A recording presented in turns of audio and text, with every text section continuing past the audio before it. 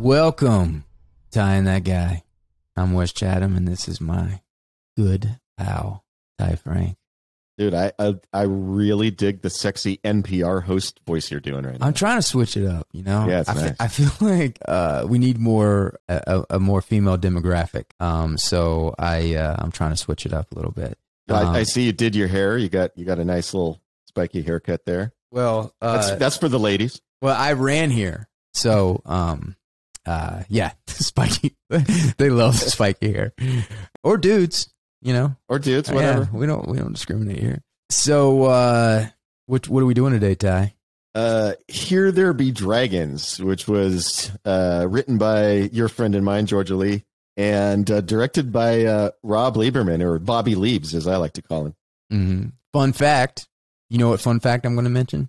Uh who his wife used to be? Who his wife used to be, Marilu Uh, Henner. because that is a fun fact. Is. that is a fun fact that he was married to Marilu Henner, and Which, uh, and she has a pretty cool thing to uh, have in your history. and double fun fact is she has uh, one of those crazy memories that she can remember every single day of her life. So if you say if you throw out a date that she was alive, she can tell you exact detail what that day was like. Pretty pretty impressive. Um, did you see that sixty Yeah. minute special with her on it? Uh, yeah, I, I mean, I saw clips from it. I didn't watch the whole thing, but yeah, uh, she was actually at an event that my old boss George Martin went to, and the Mhm. two of them talked some. And he said she was a pretty fascinating lady to talk to.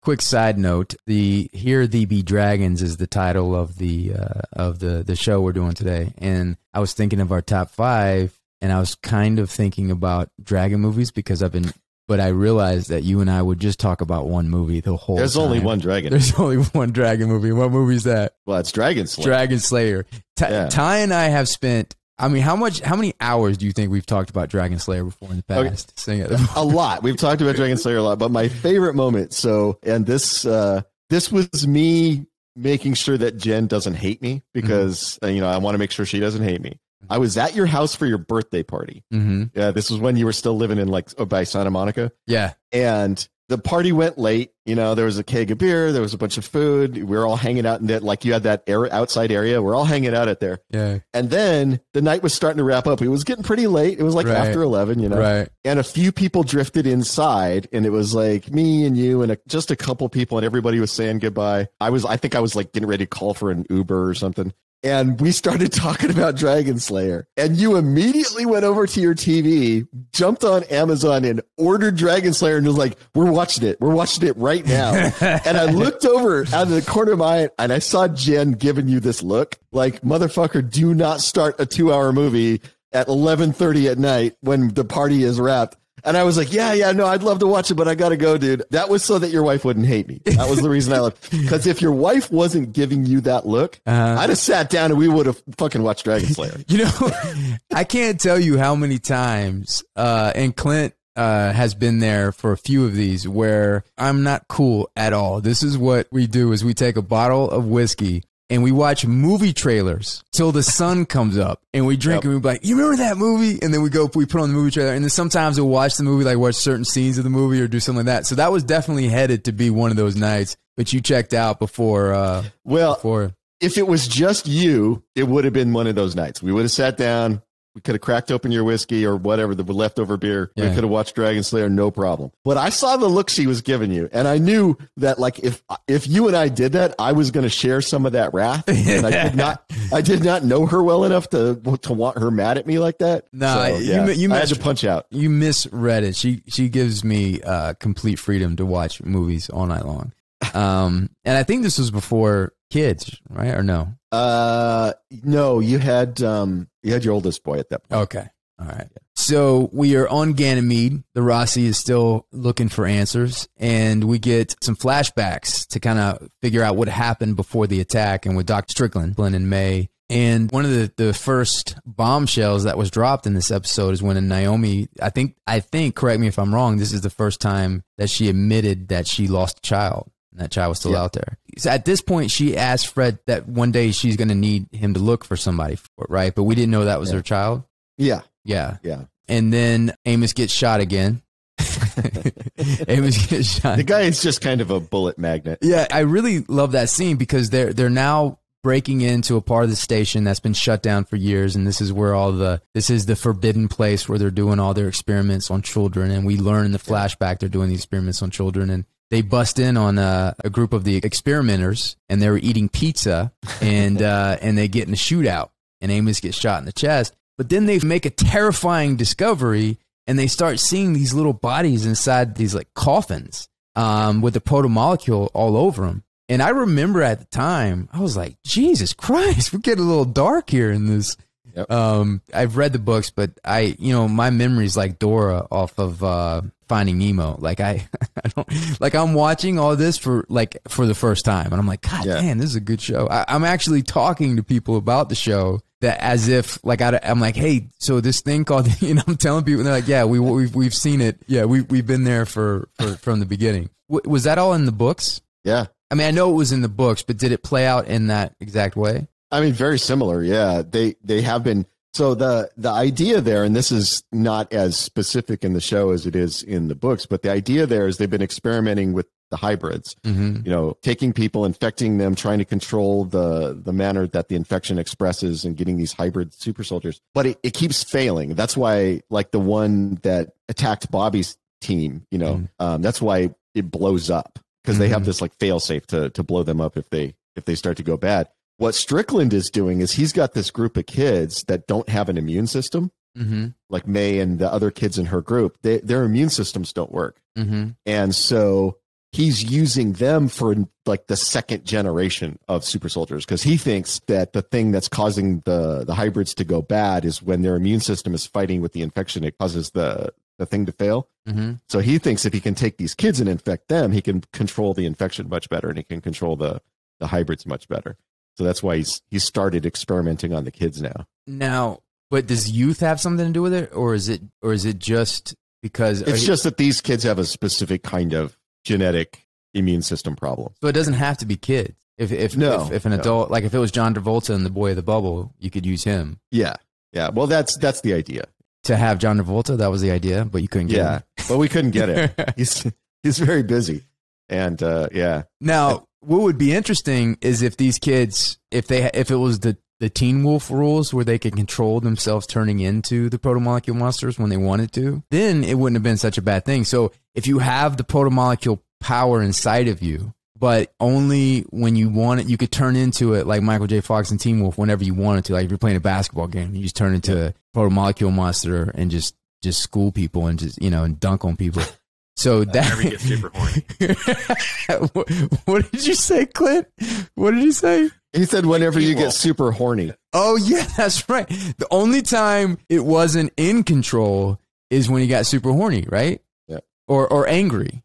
You know, so then that would be weird, you know. Um The Teen Wolf thing was funny because they they kind of turned being werewolf into being the Hulk. yeah.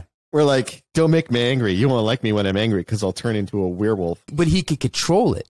Yeah. He could control it. And you know what was interesting is that he went through that whole poor man's American Werewolf in London transition in his bathroom, and it took forever. You know, the hairs came out and the nose got long, and it was painful, and it went through all that. But then, like people would look the other way, like Superman, like look the other way and turn back, and he was a full wolf. So they Yeah. kind of took the transition time out of it, and it didn't look painful anymore. So who wouldn't want to do that? Like you could just tap into your Teen Wolf and and come out. And by the way, where was the government during all like they didn't want to run experiments? They didn't like local news weren't interested in a boy that could turn himself into a wolf and play basketball? Because the whole movie they were you know the father and everything they wanted to, they were trying to keep everything secret. They didn't want anybody to know. But then he comes out and he's surfing on a on a van and he's playing basketball and dunking on people turning into a wolf in front of people and nobody wants to know about this or nobody wants to figure out what's what's happening to him or experiments Everybody was very chill about it. Yeah. yeah, everybody's very chill about it. So, uh, if you could have a super protomolecule power, um, like the Toxic Avenger when he fell into the, the toxic, Yeah. you know, then I would think he was doing the kids a favor. I think it would be something like Dr. Strickland would have been a hero as opposed to uh, an antagonist. But the reality is, is that he wasn't doing because they can't control it, right? Once they become a protomolecule. No, and actually in the show, uh, we show that he's putting control mechanisms in them so that he can he can control them. So here's the thing: is is there's a lot of failure on the way to the first success, and each of those failures is a dead kid because you know they find the one kid in the body bag Mhm. in the incinerator room. um, that's a failure. That was a mis- that was the, one of the early attempts that didn't work, and now you've got a dead kid. So I mean, even the process of developing the technology is pretty horrifying. I mean, Mhm. when you're when you're killing kids to develop your tech, probably not the good guy. Yeah, yeah, I, yeah. You're right about that. So one of the, the the scenes that I loved in this episode, and you and I are are we've talked about it many times how much we love horror movies. There's some horror scenes in here, and one in particular is after their shootout, and they're behind the, and, I- and I love when the door opens and they throw a hand grenade in there, and they go and they shut the thing, and the, and uh, Amos throws the hand grenade back, but then you hear this like like this roar and all this noise and people go ah and the gun shooting and firing Yeah. and then you see the smoke come from the the uh, the vent and then get sucked out of the vent kind of like a backdraft style. And uh and then when the Roci crew goes down into the basement to explore what's happening they see Amos sees this like upside down capsule that was a coffin and he said oh something uh, broke in here. And he goes wait no something broke out. And it's like oh yeah. And then you see the doctor that has her throat slit. What was her name? Yeah, I don't remember. god if only we had the guy that wrote this in here Yeah, I know, but you know what? I, I'm Yeah. old and I, you know, I, I'm old and I drink a lot, so my memory's Uh, shit. but she was there and she's gurgling blood and she's holding her throat. And then I always think it's more terrifying to see the aftermath of a slaughter than the actual slaughter. So you go in and you see that, and then she's there and she's trying to talk, but she could barely talk. And Holden is in his uh, monster hunting phase, and like he doesn't have sympathy. He pulls her medical supplies away, and he's like, "What happened here? And what happened to the kids?" And then basically she's like, "We made him into our own image." and then she passes away with her last breath. I love that. It was it had a horror element to it that was really fun and interesting. And then when tension was at its height, you know, like a great horror movie, then you get Alex showing up.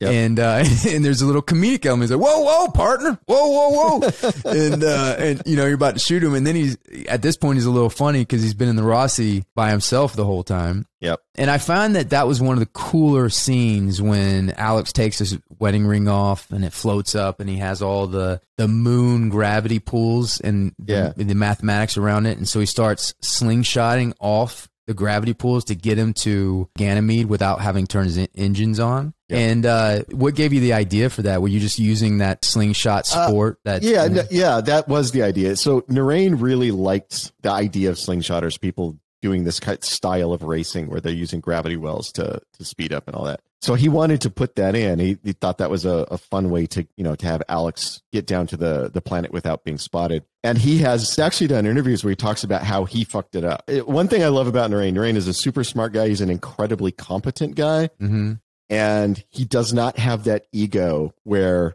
if he makes a mistake he can't ever admit he made a mistake he does not have that which Right. i really respect in people so when he was putting the scene together like somebody was like you know it would take weeks to do that or or longer to to do all that and you're showing it like it's happening in like a few minutes and he's like yeah that's my fault i screwed that up like like he he was he just was so excited by the visual of it yeah. that he wasn't thinking about the reality of it. And Yeah. he usually doesn't do that. He's usually always thinking about the reality as well. Yeah. That one, he just got too excited about the way the visual would play, kind of forgot about the reality of it. And so it, it, it doesn't make any sense the way it's actually visually depicted. It, it wouldn't work that way. Yeah. But it's it's a beautiful scene, and I understand what he was excited about. I understand why he was so excited to do those particular visuals because you get some great shots in there, some amazing visuals of of the ship whipping around those moons, and yeah, Yeah, it was really incredible. And if you think about it, there's probably three or four people in the world that knew that that wasn't accurate. You know, and the, the rest of people were like, "Oh, that's Tru- fucking trust awesome." me, all four all four of them emailed. So yeah, you probably know all four of them kind of through the through the show. they all emailed me. So Yeah. yeah, Bobbie gives Captain Martin a grade A ass whooping, and it was so satisfying. And Yeah. uh, she starts to put the pieces together. She steals his iPad or future iPad. She figures out that Jules Pierre Mao was at a point where Earth it wasn't really working out with them. So then he did a, a sales demo for Mars. Yep. And it got a little bit out of hand. And then now Mars is covering up. Is Mars covering it up because they are interested in that weapon? And oh so- yeah, absolutely. yeah. Yeah, no, that that as the viewers discover later when we meet Korshunov, who's the the Martian, I think he's the Minister of Defense for for Mars. Mm-hmm. There's conversations between him and Errinwright where it becomes very clear that Mhm. both planets were bidding on this technology. Mm-hmm. You know, and uh, Mao is using the competitiveness between these two planets to maximize his his payout from the project that he developed. Mm-hmm. So yeah, And I think Rob did a really great job with that sequence after she whooped his ass and then she whooped the guard's ass and she's walking out. And it has that Odessa Steps type editing where the tension is really Yeah. built in, where every time she passes a guard, how he manages time as she's walking through each thing and she passes the guard and she looks and then she passes the guard and she's almost there at the end and they go, Hey, you! And she takes off running and she runs to the Yep. UN and gets political asylum. That was a great sequence, that it's piece. I, I I really like what the layout says that there's this red line on the ground and then there's a few hundred steps over concrete and then there's a blue line on the ground and that's like that no man's land and here's where earth starts and here's where mars starts you know like the embassy that's one of those sequences where our inability to do what was in the script led to i think a better thing Mhm. because in the script, it was originally supposed to be scripted. She breaks out of the embassy and she goes running and she runs through the city to get to wherever she's going to ask for asylum. And we just couldn't do it. There, we just there was no way to shoot it. There was no way to get enough footage of her running to justify it. So we were talking about it in the writers' room, and I said, "Why don't we just do that kind of like where it's like the the land that an embassy is on is considered to be the territory of the country whose embassy that is." Mhm. like why don't we just do that like there's a little plot of ground it's that's martian the embassy so that's technically mars territory Mhm. and then there's just a fence Mhm. and once you cross that fence now you're out of the martian territory and you're back on earth and that way we can just show her running across that one section of ground and we don't have to like try to because th- there were ways we could fake that she ran through the city but they all would have they would not have looked good Mhm. it would it wouldn't have turned out well Right. and i love the overhead that we wound up getting Mhm. there's this great overhead shot Mhm. where you can see the orange line on the ground and the blue line on the ground and you see her running across between them and i think it's actually better than what was scripted Mhm. because we didn't know we were going to have that limitation Right. and sometimes you wind up lucky like that where it's like we can't do the thing we wrote Yeah. let's try and find something else out to do and it winds up i think in many cases it winds up being a better thing Right. So you're taking credit for it? Your idea? I want everybody to know that.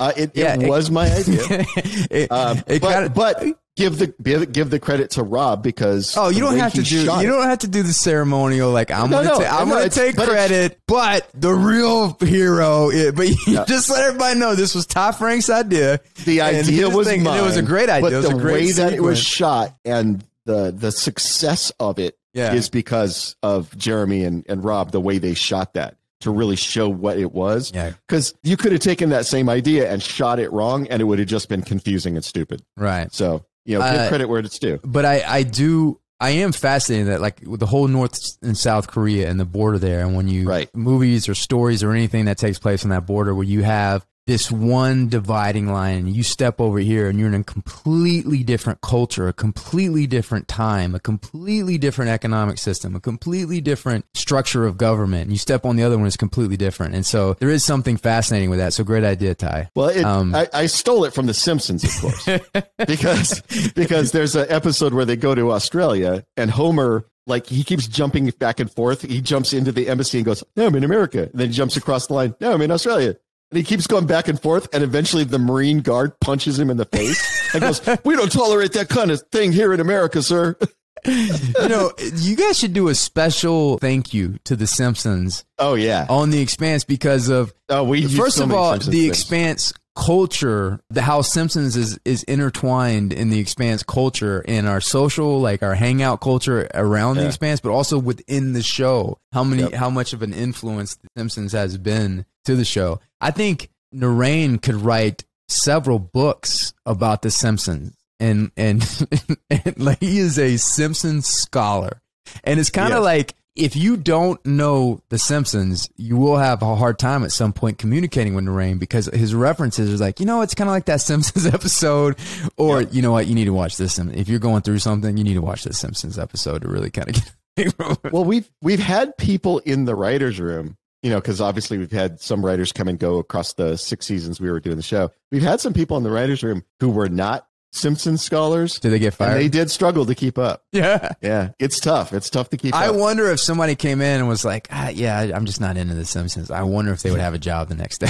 Um, well, they certainly don't have a job the next year. yeah, You better go start watching some Simpsons. You want to hang around here. yeah. So we're on the Arboghast, and they're sending uh, drones down to kind of see what's going down there, and they keep disappearing. One drone finally makes it down to the ground, and you see this almost like a pyramid of protomolecule, and then it shuts off. That was a really cool, mysterious. You see like a little glimpse, and like, what the fuck was that? And they ended at that point. Um, one of the things I wasn't clear on is Dr. Turbe arguing with him about taking the ship down there because he's saying the the probes aren't working. We're Yeah. not getting any information. Yeah, and as you see later in the show, I mean, this is a couple episodes from now, but the ship does have the ability to go down to the cloud layer of Venus. Mm-hmm. Um, it's designed for that, and you actually see that that system deploying. Mm-hmm. In I think it's the last episode of this season. Yeah. And what he's saying is, let's let's go down there. Let's get as low as we can, as low as the ship will let us go. If you were in that position, if you were on that ship and you had a chance to see what was going on down there, would you take that chance to see what was going on? Or would you be like, nah? It's creepy. What's happening is creepy, and you know that the protomolecules killed hundred thousand or more people at this point, Yeah. and you don't know what its intentions are. Yeah. So I see why there would be a lot of hesitation, but at the same time, if you're a scientist, you are witnessing maybe the most important event in human history, which is our interaction with what he thinks is an alien species. Yeah. I think if you're a scientist, scientists will take great risks for great discoveries. But I'm talking about Ty Franck. I'm talking about you personally because I think about this all the time. Because I think about like like I think about Close Encounters, like Richard Dreyfuss Yeah. in Close Encounters, and I'm like, if I was in that situation, would I go to see? Would you get on the mothership? Would I get on the mothership, or if I was in the situation where we're over Venus and there's something's going on down there? Because I'm extremely curious. Yeah. And too. so, like, would my curiosity outweigh my fear, or would my fear outweigh my curiosity? Because let's say that you had a chance to go on Yeah. the mothership, Close Encounters, and see what this is like, and see another civilization, another culture, and you didn't do it. Like, you know, and then you're like, well, fuck it, I'm dying anyway. You know, at some point, like, I could have went and seen this other, it had this other experience, whatever. I, I, so I think it's fascinating to think about, and I think at the end of the day, the deciding factor was be like, look, I'm I'm gonna die anyway. So why not take this one chance to see something that no human being, at least that I'm aware of, has ever seen in another It's- world, another civilization? And it could be like Oh. cocoon, you know, you, you Yeah. go up there and you get like all that energy. And I'm sorry, go ahead. I. No, I, I find it very interesting that that is that is a human. That's so human. The opportunity to see something that no other human has seen before really does drive us. I, I think that's a, a maybe even a uniquely human thing. Like I don't know any other species, and obviously we can't talk to other species, so we're not sure what their motivations are. But like humans will literally risk their lives for no gain other than I saw a place no one has seen before Mm. and I don't know why why we have that drive, but we do, and I I totally get it. Like you know, I, I was talking about you know we went out and visited uh, Blue Origin, Jeff Mhm. Bezos' rocket company. Right. We went out and visited, and we were joking with those guys. Are like, hey, when you finally send people up, you know, we should get a free ride. I think you and I were like bugging them, like, hey, you should give us a free ride on the rocket. Like talking to Daniel, Daniel would never do that because he's like, if there's even any chance that that thing is going to blow up on the launch pad or whatever, like, why would I take that risk? But for me, to do a thing that so few people have done, to see the Earth from orbit, to look down at the planet from that high up, to to look into space with no atmosphere in between. Yeah, I'd, I'd totally do it. Yeah. Like if it was 50 50, probably not. Yeah. But if they're like, you know, there's a 5% chance this will blow up, I'd be like, yeah, one in 20, I'm going to do it. Yeah. I'd give it a try. Yeah, there's something that's just so fascinating to me that if I had an opportunity to be able to really experience or really see something which we you have no idea what's what's going to happen or what it's going to do, my curiosity would be so powerful that I would do it because you know you do it and then they they probe you and then they kill you, um, and that's, that's the, you know and that's the the downside. But what would be more painful, like being you know a 90 year old person in your bed and being like, God damn, I could have went and seen this thing, Right. you know. You know, and- what's and- funny is that mothership that Dreyfuss and all those other guys got on, that ship had only stopped because they needed like snacks. They needed supplies for the flight home. They picked up some humans to take with them for food. I was trying to figure that out because I was like, "Wait a minute, what?" Yeah, that, that's hilarious. They're like, man, we're fucking hungry. Have you ever tried humans? Yeah, let's let's stop by and, Earth. And they're like, look, we yeah, last time we stopped by there, like you know, it was when they were creating the pyramids, and and uh, we helped them with the pyramids, whatever, and they gave us of the humans, and they were delicious. So They were yeah, delicious. Yeah. we, you go down there, you do a little lights, you know, they think you know little musical things, and uh, and then inevitably they just kind of wander on the ship, and then they send like their most innocent children aliens out there to like walk them up because they don't think they're bad, and then when they close the doors, like ah, you know, and they're coming, um, uh, yeah. So we're on Earth, and Errinwright is coming up with leverage that they can have over Jules Pierre Mao, and he mentions Peaches for the first time. The first time we hear Clarissa Mao's name in there, and he talks about her and how that they could use her to get to the father. And uh, Avasarala lets him know that there's going to be a council and an investigation of what happened on Eros, and he's going to be the center of it. And you can see on his face calculating. Okay, so now I'm in Yep. the center of this, and you see his survival mode kick in. So that whole Yep. morality that you got a window in in the last episode, that window closes, and he's in the survival mode now. And Yeah. Avasarala does not know she's in danger. I don't think she's blind to it, but I don't think she recognizes how far he'll go to Yeah. protect himself. Well, Yeah. I mean, she clearly suspects the invitation to go on Jules Pierre's mount yacht. She clearly suspects that that could be a trap. Yep. But do you think that she has suspicion against Errinwright at that point? I don't think she sees what Errinwright's game is. I think she's suspicious of them both. What she wasn't is suspicious of the two of them together. Mm-hmm. And that's because at that point it's it's very clear to her and in reality this is this is true that they're not working together anymore. Mm-hmm. So she she thinks this is a separate thing now. Yeah. And like later in the in the next couple episodes we'll see that No spoilers. The level of manipulation Errinwright has been doing. Mm-hmm. So this episode had a lot of punchable faces in it. You got Dr. Strickland, you got Errinwright, and Jules Pierre Mao, who are basically manipulating this thing, killing a bunch of people. And then you have Uh, Um, Bobbie's. Uh, Oh yeah, Captain Captain Captain Martens. Captain Martens, who's probably the winner of the punchable faces. Would you say? well, he's certainly the one who gets punched. Yeah. Well, well, I guess no. Doctor Strickland experiment with kids. That that that's probably the most punchable face. Well, I but see Strickland Strickland goes to that next level because there's punchable faces, and then there's this guy needs to be shot in the face with a shotgun, hmm and we know where we know where, uh, where on that scale Strickland is. Right. and what Ty is doing is he's pointing out how we're narrowing down our next list, which is going to be the most punchable faces in in uh, fictional characters. And because we happen to have the list police as our producer, and that's Clint Trucks, and he gets very particular about his list. So the way that Clint uh, described it is is that, and that, and I agree with this, is that we're going to think of our top five most punchable characters, fictional characters, but it's punchable. So it's somebody that you would punch in the face and people would cheer. But if you kick their teeth out, they would think you went too far and they would they would they would have an issue with it. So if you think about Ralph Fiennes in Schindler's List, of course it's punchable, but he he needs to be killed, you know. And Yeah. so if you if you kicked his teeth out, nobody's going to care because he's he's went too far. So these are fictional characters and a good example that Ty gave to kind of give you the tone of what we're talking about is the principal in Ferris Bueller's Day Off. And he, he, he was very punchable, but not teeth kick outable. And teeth, teeth kick outable is the next level. And then after teeth kick outable, it's murder. And so this is, we're keeping it in the, in Well, the, there's there's punch, there's serious physical injury that causes permanent harm, and there's death.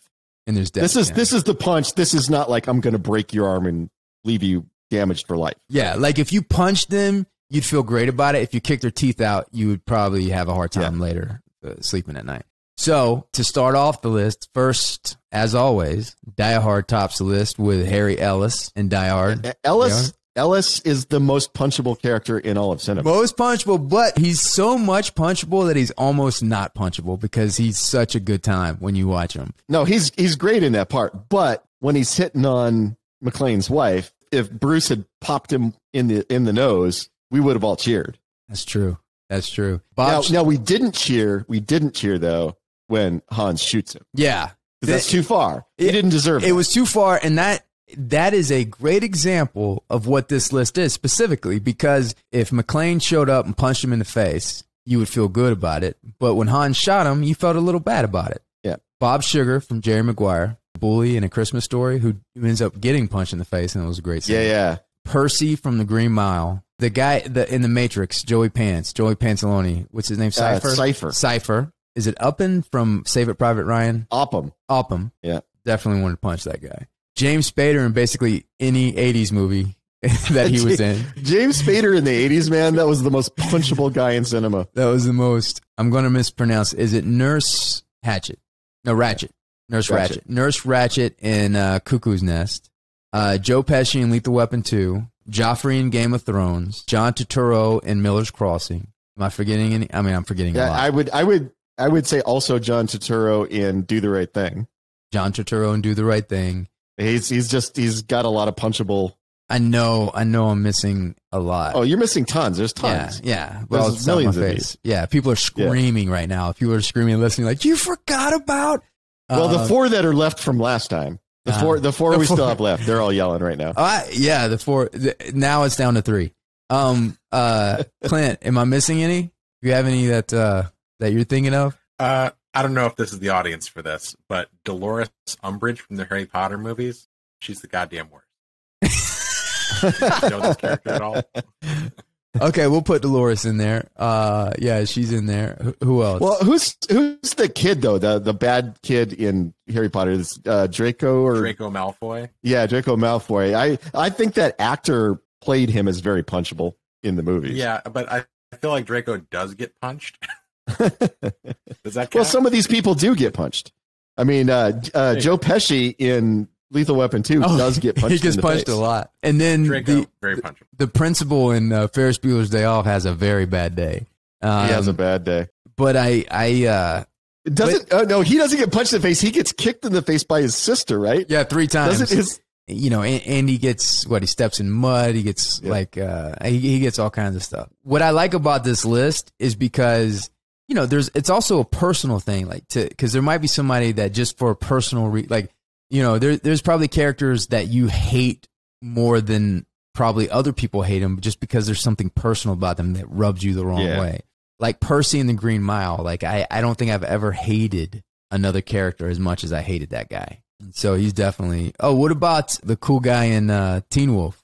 Oh yeah, I, I don't remember that movie as well as you do. I, I mean, I saw it when it That's came out. Stiles. Yeah, Stiles. No, no, no. Stiles was his buddy. He was a good guy. He was cool. Stiles was the coolest. You know, I know people are going to say William Zabka from Karate Kid, but I, I liked, I like him. I like William Zabka. He was, And- you know, we've we've talked about that. That you know, if you really think about it, he was kind of right. Daniel was kind of kind of a douche. Well, he was certainly right when he's trying to roll a joint while taking shit, and then they, uh, Ralph Macchio sprays him down with a hose, and then they go and Yeah. kick his ass. What the fuck did Ralph Macchio expect? You know, you spray somebody with a hose, there's going to be repercussions. I don't want to say Billy Bob from Tombstone because I, I think he's fucking awesome. I love him in that. Uh, but but he did need to get punched, and then he got punched. Yeah, so he it's it's okay. Like when he's Are you going to when he's like yelling at the, the guys who are playing cards and just being an asshole. Yeah. He needed to get smacked. It's like playing with my sister's kids or something. uh, Yeah. what, what about Bill Paxton in uh, True Lies? Yeah, except that. So here's the thing, uh, and may, and maybe this is where I differ on this list. Is he just always seemed like he was having a great? Now, okay, yes, he's a sexual predator. Don't be a sexual predator. I'm not justifying the way he treats women. What I am saying though is, in all his interactions with everybody, he always just seemed like he was having a great time. And, and Bill Like- Paxton is so damn likable. He's so likable. even he as never in seemed like he was doing anything Yeah. to make other people Yeah. feel bad. Like he's saying all kinds of horrible shit to Arnold, Yeah. But he's not saying it to make Arnold feel bad. He's just saying it because he's having a great time and he thinks it's fun to talk about that shit, right? Yeah. That'd That a, feels less punchable to me. that would be a fun list. Like the worst character that you still like, you know, because the character is like so likable, and there's something about Bill And, Paxton. he, and he's got a tiny dick. It's pathetic. I mean, you got you got to feel bad for him, right? It's pathetic. What? Uh, who else? Who was the other guy? That, what was that movie where the guys I always pulling? figured His, out who needs to get punched in Karate Kid. It's the Cobra Kai sensei. Oh Yeah. yeah, yeah, yeah. yeah. Okay. So he can be the guy. So he can be the guy from Karate Kid. Okay. Do you think Joffrey tops the list? Well, okay, so th- that that's interesting that yes, because I was actually going to bring that up. Like first season, Joffrey super punchable, and when Tyrion starts smacking him around, it's incredibly satisfying. But when he's like murdering hookers in his bedroom, he he elevates out of punchable into this guy needs to get murdered, right? Okay, yeah. So, like, I think first season Joffrey incredibly punchable. Okay, first season Joffrey's top of the list. Okay. Yeah, but by like third or fourth season, like I'm just waiting for somebody to kill him. what about Snake and Stand by Me? He's punchable when he puts He's the cigarette out in his face. Yeah. Okay, so Percy's definitely on my list. So we'll put first season Joffrey number one, Percy number two. Oh, I'm sorry, Harry, Henry Ellis is yeah, Ellis one. has got to be number one. Ellis is number one. Yeah. Season one Joffrey, Percy from the Green Mile. so I have to ask the question: Would Carter Burke be on this list? He seems like he needed to be punched in the face. Now, eventually, he needs to get killed. Like he develops up to the point, but when he's like after all the Marines have been killed and he's in the APC and he's going, you know, there's a substantial dollar value attached to this station, and he doesn't have the authority to make that kind of decision. He's just a grunt. In that moment, somebody needs to punch him in the face. Yeah, but he he's killable. I think Well, later he is. at least Like by the end of the movie, he's killable. Mhm. But at that point, I don't think he's killable. At that point, he just needs to get punched. When he, For yeah, the when audience, Ty, who is Carter Burke? He's the Paul Reiser character in Aliens, and anybody who doesn't know that isn't listening to our dumbass podcast. that that is a great point. Down to two listeners. nah, he's killable, man. I think uh, because when the reveal comes out, he's already past the killable threshold. Yeah. Nurse Ratched, I think, because I don't think She's the worst. she's the worst. She's the worst. She's the worst. Yeah. So she could be number four, and now we need number five. You know, James Spader's interesting, and I think a fun spinoff list will be what actor played the most punchable characters. Well, And- Spader would definitely be on that Spader- list. And I think the James Spader character from Pretty in Pink and the Craig Sheffer character from Some Kind of Wonderful would be a tie for fifth for me. Um, incredibly but what about Spader in Less Than Zero? I mean, he's terrible in that. Yeah, I, I think that, but I think he's worse than just punchable in that. Like he's legitimately. You like think a- he elevates to teeth kick in? Yeah, yeah. Okay. If if if somebody curb stomped him a little bit, Yeah, I don't think anybody would have been upset. Yeah, you're right. Because Pretty in Pink, like the way that he um, lied, you know, and, Yep. and and played both sides on uh, to Molly Ringwald, where he's trying to, Yep. where she rejected him, but then he told lies. But yeah, yeah. So I, I agree with that. I think Pretty in Pink, uh, Spader wins, but Craig Sheffer, yeah. So that we'll we'll have a tie. Craig Sheffer, Yeah, because because the the moment when um, Elias Koteas and all his gang of punks break into the party at the end and save Eric Stoltz from getting his ass kicked, and it becomes very clear that Elias Koteas is about to beat the shit out of Craig Sheffer, and we don't actually see it happen. But when it becomes clear that's what's about to happen, it is so satisfying. That's like the best moment in that movie. You know what's great about having three listeners is that let's have the the listeners win this tie because it's easy for them to win the tie because it's only three of them. So Craig Sheffer and some kind of wonderful or James Spader and Pretty in Pink.